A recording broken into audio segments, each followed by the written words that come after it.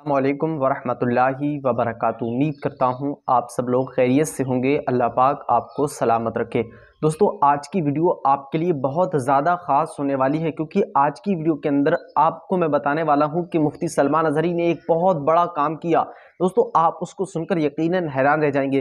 देखिए, सबसे पहले बात करते हैं मुफ्ती सलमान अजहरी की, जिसको इंटरनेट के ज़रिए हम लोग जानते थे, हम जो है मीडिया के ज़रिए जानते थे, लेकिन अब अल्हम्दुलिल्लाह हम उनसे वाकिफ़ हो चुके हैं, हम उनको बहुत करीब से जानने लगे हैं, हम उनको बहुत करीब से पहचानने लगे हैं और हम उनसे मुलाकात कर चुके हैं। तो दोस्तान मोहतरम मुफ्ती सलमान अजहरी साहब से हम बहुत ज़्यादा मोहब्बत करते हैं। किस वजह से? उन्होंने नबी के गुस्ताखों का बाइकाट किया, नबी के जो गुस्ताख थे उनका रद्द किया।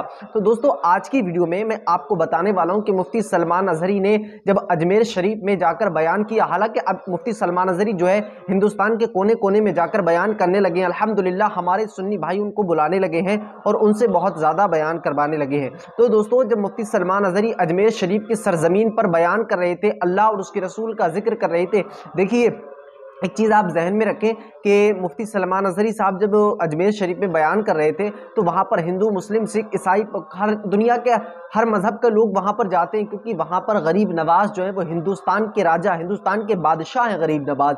तो दोस्तों, जब गरीब नवाज़ की बास की बारगाह में जाके बयान कर रहे थे तो वहीं पर एक हिंदू शख्स, एक हिंदू लड़का वहाँ पर मौजूद था। जब मुफ्ती सलमान अजहरी के बयान को सुन रहा था तो उसके दिल में अल्लाह ने अपनी खशियत पैदा फरमाई, अल्लाह ने उसको तोफीक दी और उसने कलमा पढ़ा और वो दाखिल इस्लाम हो गया। दोस्तों मोहतरम, मैं क्लिप के ज़रिए आपको यहाँ पर दिखा रहा हूँ, आप इस फ़ोटो को देख लीजिए। दोस्तों, यही वो फ़ोटो है कि इस हिंदू शख्स ने कलमा पढ़ा और दाखिल इस्लाम हो गया। दोस्तों, बहुत खुशी की बात है कि हमारा एक मुसलमान भाई और बढ़ गया है और मज़हब इस्लाम में दाखिल हुआ। मज़हब इस्लाम में आ गया और उसने कलमा पढ़ के दाखिल इस्लाम कर लिया मुफ्ती सलमान अजहरी साहब के हाथ पर। दोस्तों, मुफ्ती सलमान अजहरी अलहमदिल्ला बहुत ज़्यादा दीन का काम कर रहे हैं। ऐसा नहीं कि हमारे और ओलमा नहीं कर रहे हैं हमारे और ओलमा भी दीन का काम कर रहे हैं और हमारे ओलमा की ज़िम्मेदारी है दीन का काम करना। अल्हम्दुलिल्लाह, हमारे ओलमा दीन का काम कर रहे हैं।